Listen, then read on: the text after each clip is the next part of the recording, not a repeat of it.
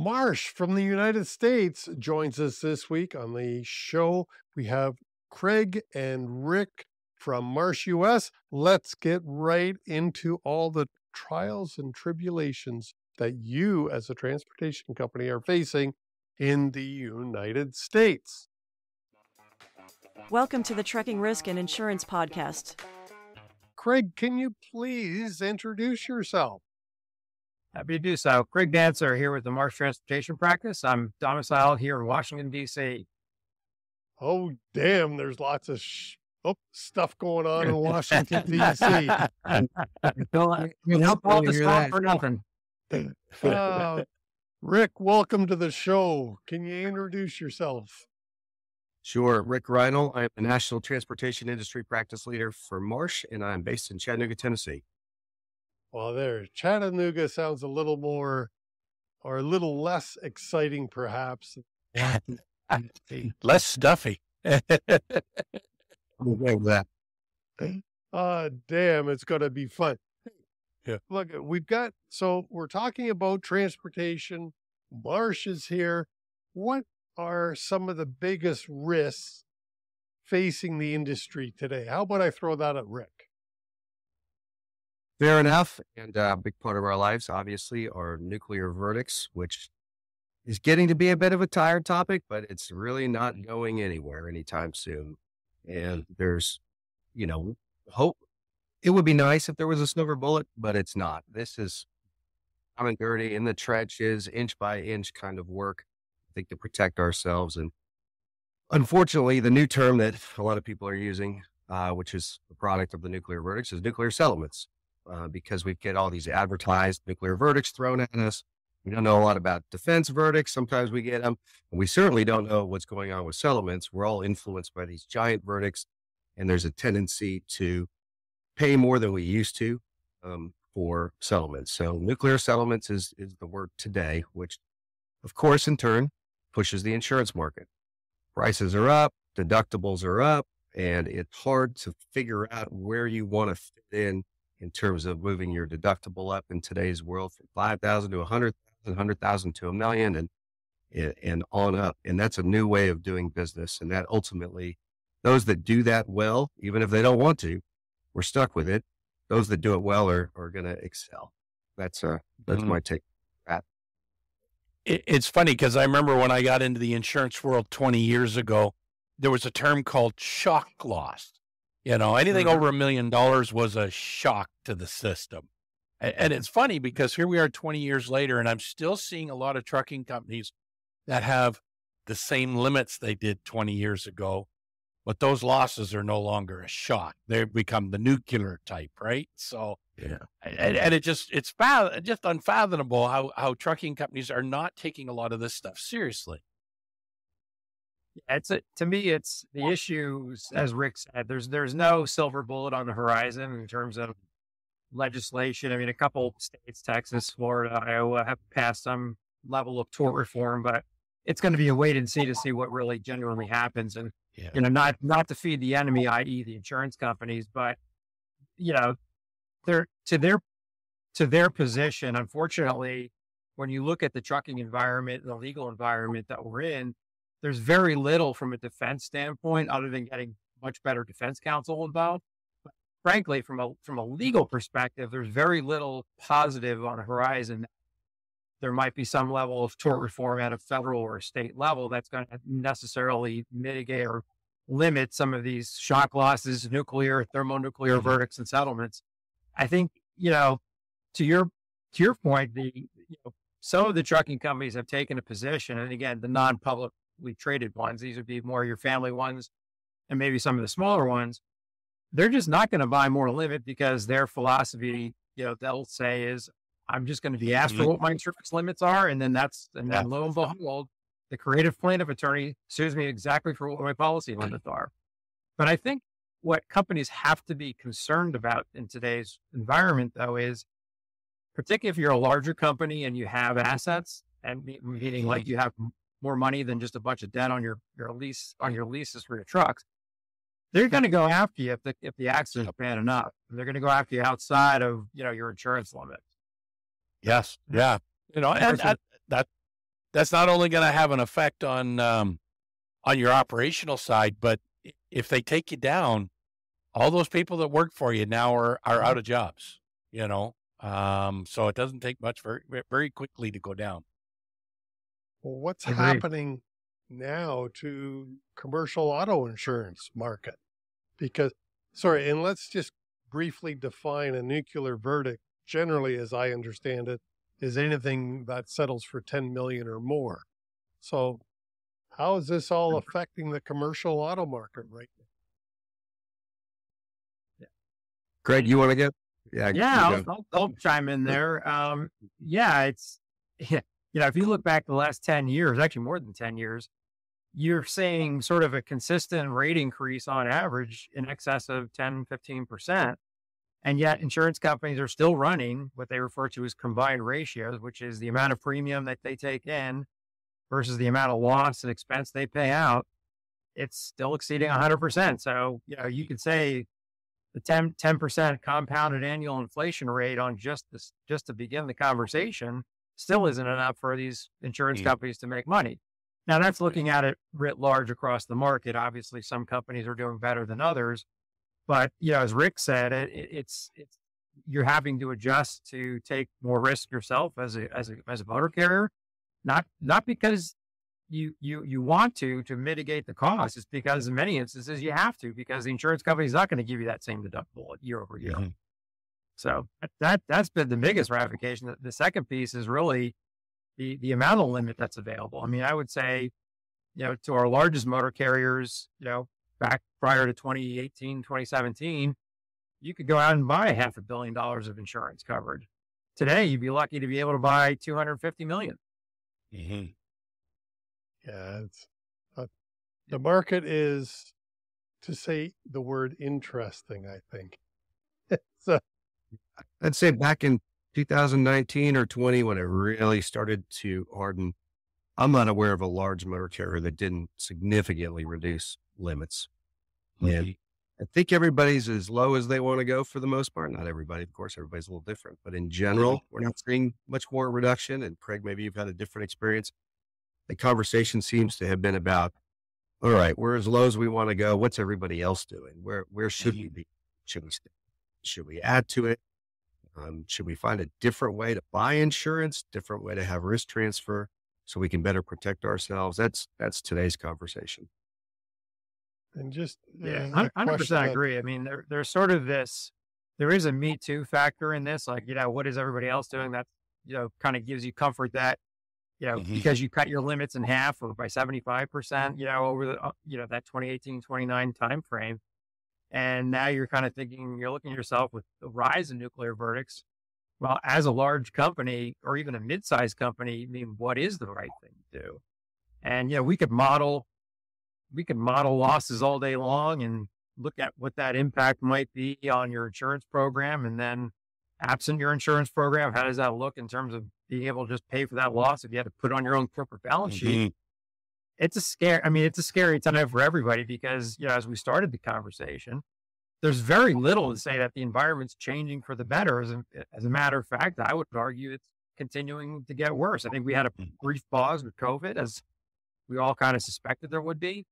And I think, you know, post COVID, now that the courts are fully open, I, I, I, I think that the, the stuff is accelerating even faster in terms of these bad verdicts.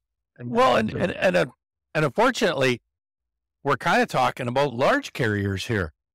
We're missing the larger picture, which is smaller carriers, which obviously have smaller limits, right? And uh, and and with that comes less resources, and we find too much stuff as being fast tracked. You know, we're not probably qu- properly qualifying drivers. Uh, equipment's not being maintained as it should be because, well, we we know it's a tough market out there when it comes to freight rates as well. So we're seeing all all kinds of uh, shortening in different areas, which is well, it, it's going to come back to haunt us. Um, I, I, just want to touch on real quick the incident that happened in Florida several mm-hmm. years mm-hmm. ago to the tune of oh god, was it almost a billion? Yeah, you know, it was ridiculous. The two carriers that were involved, each of them had less than five power units. Yep. So there was no money to be had for anybody out of that The only people that won were the lawyers to be able to say, we got a billion dollar verdict. Yay. But nobody collected, you know, barely a million dollars. It, it, it's a shame. I mean, and, and that, you know, I think, you know, one of them was a Canadian carrier and the other one was Yep, a US based yep. carrier and they're both, Yep.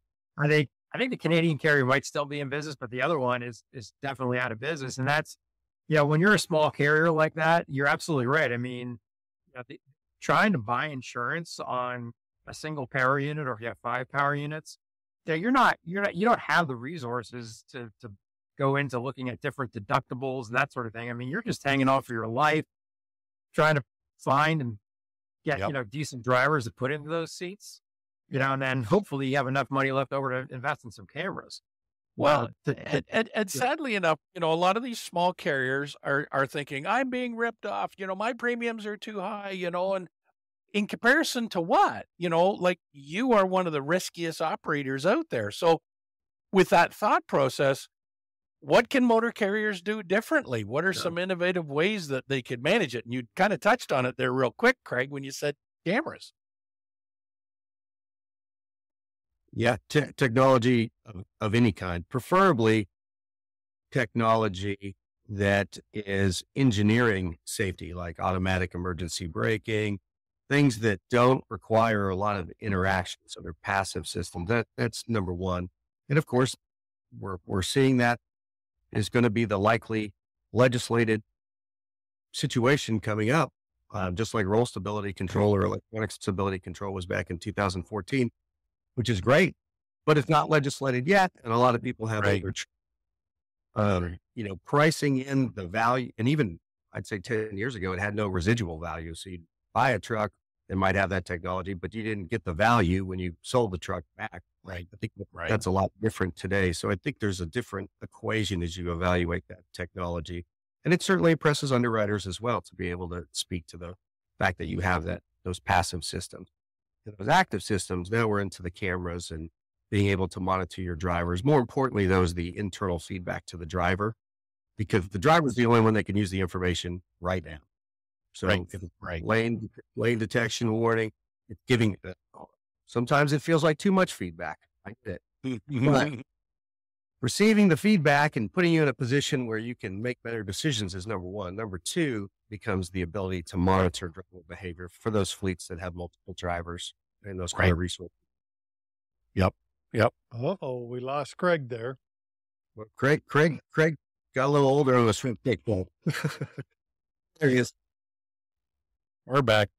That's cool. we can edit that I out don't easy enough. I, I mean, I'm in my office. I guess the uh, Marsh may have forgotten to pay the internet bill. I'm not sure. Uh, Very strange. So we're just talking about technology and uses of technology.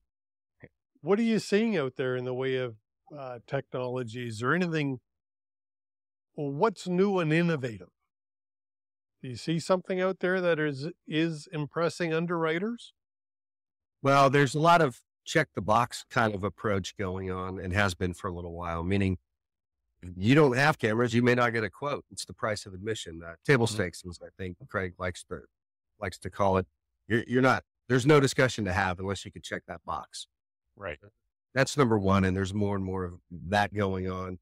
Um, but the use of it, I think, is where we'll see more emphasis in the future. All right, you've got it. Now, prove to me that you're using it. Yes.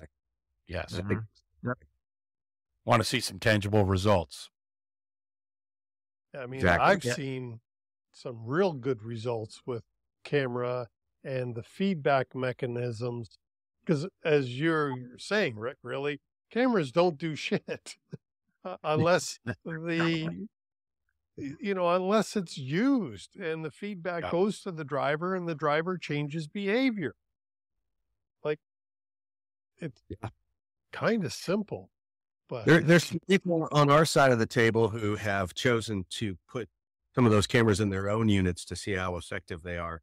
And what's been interesting to a person that I know that have done it, it's all being done informally. It's just kind of an educational thing for themselves. Sure. Of course, working the, with the provider, you know, they want to hear the feedback and all of that.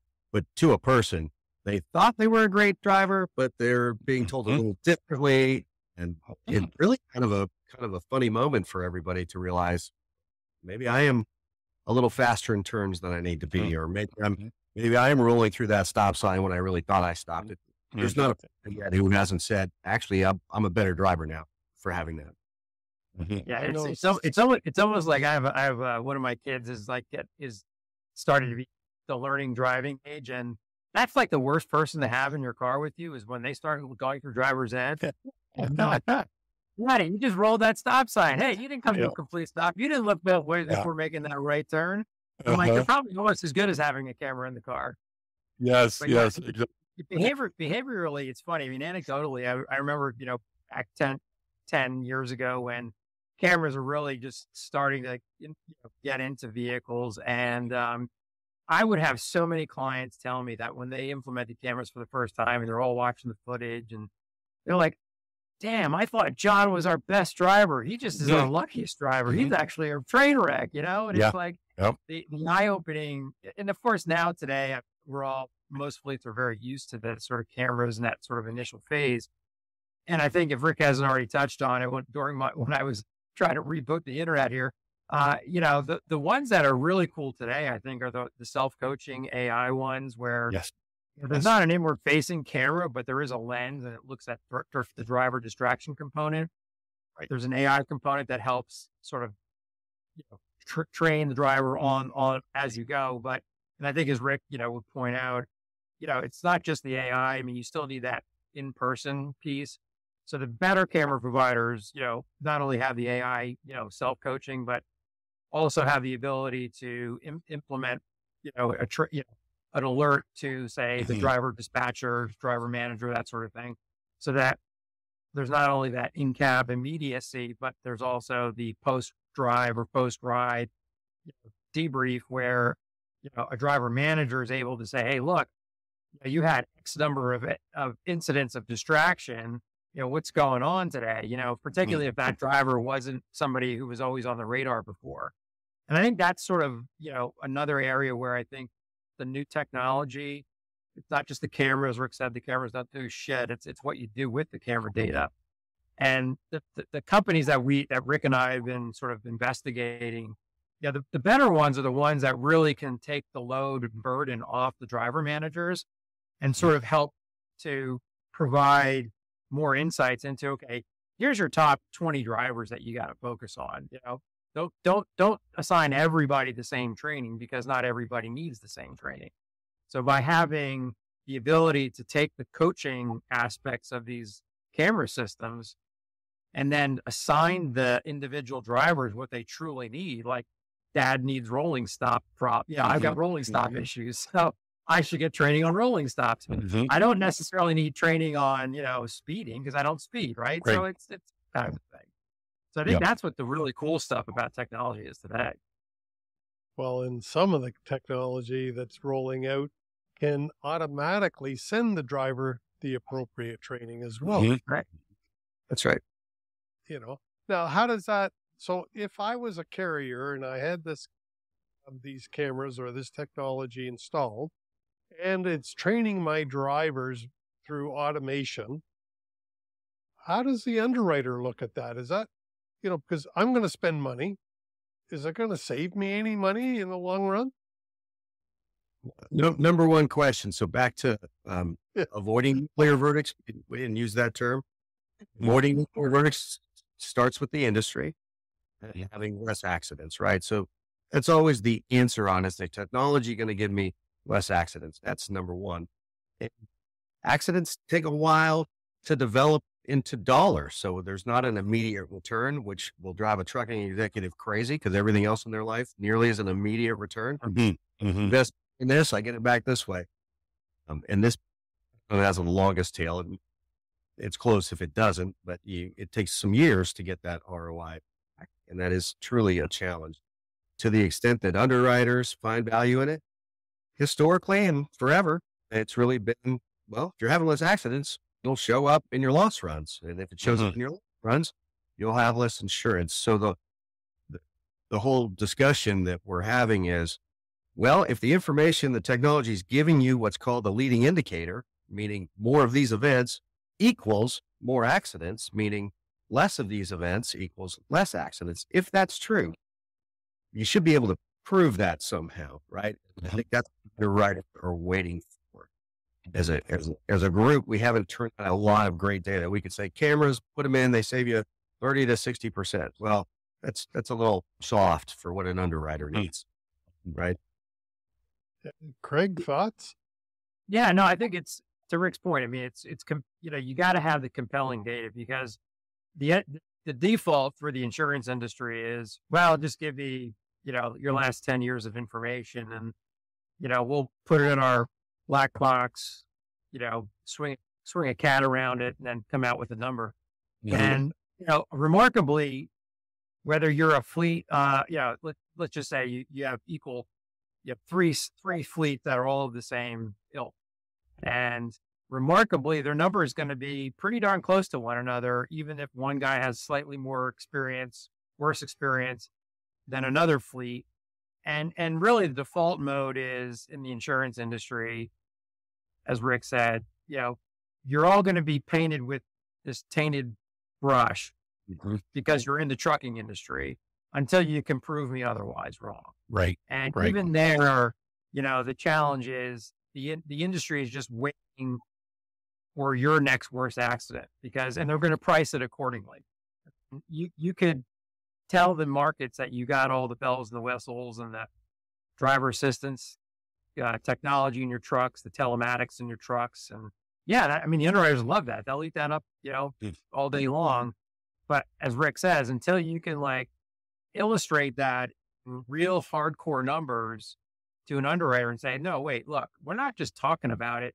Here, here's the chart. Here's, you know, here's my Yeah. reduction in frequency. Here's the reduction in my average severities. Then you're going to start piquing the underwriter's interest. Mhm. But I think, you know, you're still being grouped macroly into this commercial auto trucking bucket that is going to be very difficult to overcome in terms of just what a baseline cost is going to be. You know, Right. and, and the variability on that baseline cost for somebody that's really good versus somebody who's really bad or somebody has really good, you know, technology versus somebody that's just now investing in technology. Th- that that's where you're going to see some variability. But again, it's not like, you know, the, the trucking executive is going to run home and say, yeah, I got a great deal and I feel good about it. Everybody's saying the same thing. Free market sucks. You know, drugs market sucks. You Yep. know, and, yep. you know, and I and I get no respect. I'm Rodney Dangerfield. You know, it's Yeah. that's sort of the Yep. that that's sort of the mindset. Unfortunately, uh, Exactly. Well, we we we we've seen the insurance market over the last whatever decades and whatnot has always been historically based. We're Mhm. starting to see uptick with some new insurance providers in a user based approach. What what are your thoughts on that? The technology joins in with the user based approach. Where do you think that's co- going? When do you think we're going to see that more rampant in insurance providers? yeah, Good go, to right? me- Yeah, yeah. I was just going to say, I- you know, we we are working on. I mean, we have a road. We we developed this road facility. It's partnering with um, Inigo and Samsara, and really that it's about how much data mining can you do as an insurance company based on the telematics information that's coming back, um, and that is relatively real time. So you know, we're taking a data set, a macro data set. So you have your big data lake and then you start looking at individual type, what they refer to as data tokens. So whether it's hours, geography, driving behaviors, maintenance issues, and how, how can we take those data points and really look at fleets that are performing better because of the usage of that data? And mm-hmm. then if we can take that information along with, okay, my mileage information and some historical data from, from a driver perspective, yeah, we can probably build a much better mousetrap that A would cost less upfront um, and be long term more sustainable and predictable. Because that's ultimately what an insurance company wants. An insurance company wants to say, look, I want to I want a risk that I know long term is going to have an improved trajectory.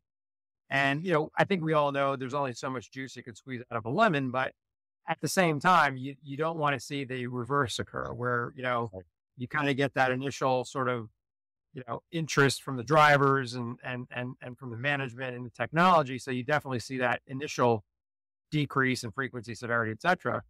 But it's how long can you sustain that? And that's really where I think it goes back to you can't just rely on the machinery. You got to go back and make sure and reinforce that that training and so forth. But that is what the insurance companies are looking for. And you know, the insurtechs, yeah, those are the ones that are really reliant on sort of the technology base. Yeah, they're all about usage based. They're they're using some form of telematic camera systems to help that underwriting process. Um, we're trying to do that on a more macro basis, and in, terms of trying to parlay that into what we refer to as that umbrella and excess capacity, because that's really mm-hmm. where we find the market has more or less been vacated, except for a very small few players. And um, you know, again, it's it's nascent. Um, it's it's people willing to invest in technology and willing to see sort of how how that plays out on on a long term basis. But yes, there is definitely interest, and the insurance industry knows there has to be a different story. We can't just mm-hmm. continue on that is the definition of insanity, right? We just continue keep yeah. doing the same thing yeah. we keep doing without it changing.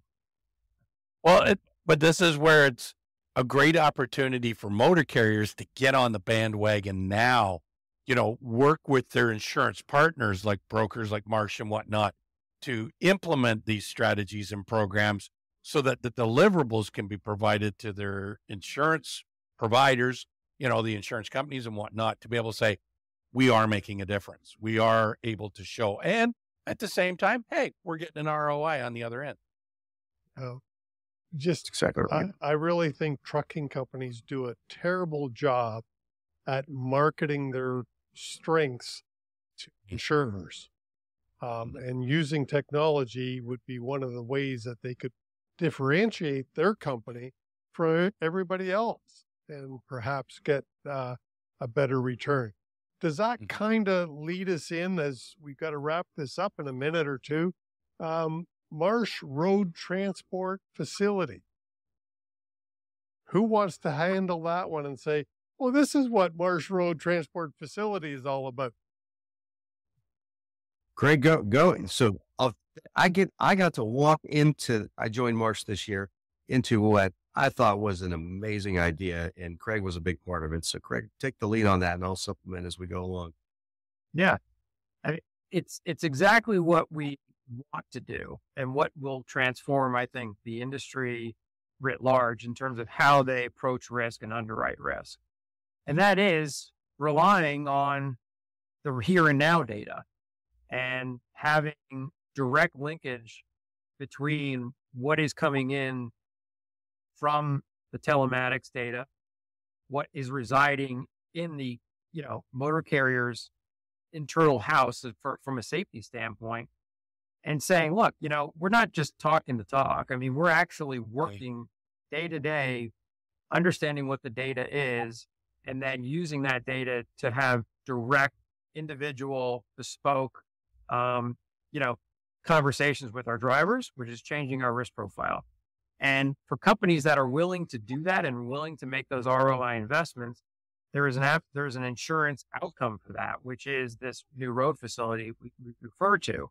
And again, it is a partnership with a technology provider and a insurance company out of out of Lloyd's of London to provide this new new product. And again, it's not it's it's for that it was in it was prepared for the trucking industry because that's obviously been the most distressed. But as the contagion of, of nuclear verdicts has spread beyond dedicated for hire trucking, it's it's really mm. targeting not only just the for hire trucking space, but it's it's it's targeting really private fleets that have large you know that have large private private heavy heavy heavy truck operations. So because it's unfortunate that now the insurance industry just sort of sort of looks at fleet as just it's just a you know it's a, it's a challenging risk environment and mm you know, to your point, our clients probably don't spend enough time talking about what they're really doing.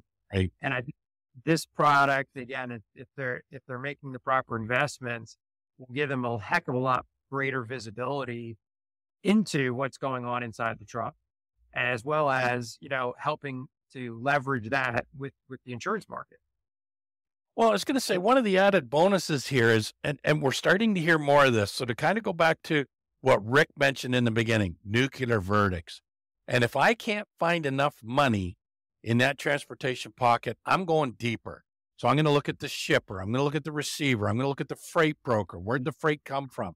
So this is a great opportunity for small carriers, particularly, and mid-size even, doesn't matter, any size operation, to do a better job and utilize this tool not only to market themselves to the insurance world, but also to their clients to be able to say, this is what we do, not only to make ourselves better, but also to protect you from that inevitable that could happen.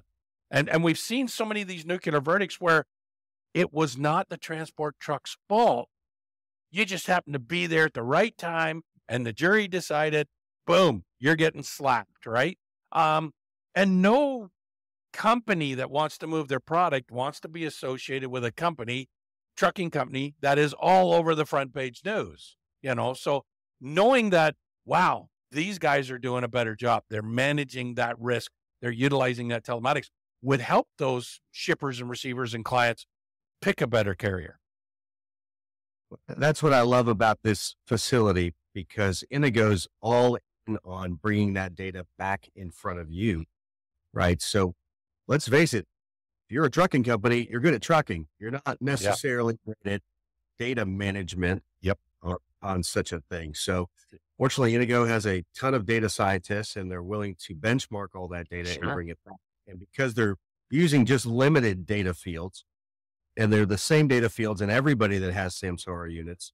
It's it's accurate benchmarking. So they've shared sure. a number just as an example that I think it's 120 hard brakes equals an accident. So mm. but they have Samsara has the data, but they're also yep. receiving the loss run. So right. They're they're in a we're in a seat right there. So so's the motor carrier. Sure. They're just sure they're just good at right now. Yeah. So there'll be, yep. there'll be some lessons learned, I think, for everybody that adopts this product and gets that benchmarking back from Inigo, it's different than what you get from anywhere else because it's been through that process and it's been compared right. to all the other submissions they've gotten. So I, I, think I think there's a lot to learn here. And we when we don't do a great job, I'll see a presentation that's often put together and it's about 80 or 90 percent on the business. This is the renewal presentation, you know, from the from those truckers that get in front of their underwriters and do a presentation, 80 or 90 percent about the business, and there's one slide talking about their partnerships. But they, no data at all. Well, they haven't had the data. It's understandable. Yeah. And yeah. frankly, we do the same thing with juries. You know, yep. the, yeah, the plaintiff can make up whatever they want. Say every every um, hard brake was essentially an accident, and you should have fired the guy after two. Well, they're just mm-hmm. making they they have yep. no idea, but we don't yep. do a good job countering it. So I think as this data comes out, really gives us ties those leading indicators to accidents and puts us in a position to talk about it with underwriters, customers, as you said, and and juries. Yeah, we're ourselves in a much better position. So to me, this is this is yep. thrilling. Like I said, I was so glad to walk in and see all this yeah. great work to get put together. Cool. Well, well like you say, it's benchmarking. Mm-hmm. That is the Marsh Road Transport Facility. So for our listeners cool. and watchers, if you want more information about it, should they reach out to Craig and Rick? Absolutely. Perfect. Yeah, we're easy to find. We're on the Marsh website or, um, or you well, can probably just do an internet search for us. It's pretty easy. Your info will be in the show notes down below. So Perfect. it'll be kind of easy for anybody who wants to reach out to Marsh and to uh, Craig and Rick in particular. Your info is down below, so do that and reach out. That was a great uh, interview. Thanks, Craig and Rick from Marsh US. Uh, and if you got value from it, please click like and subscribe, and we will see you next week. That's all.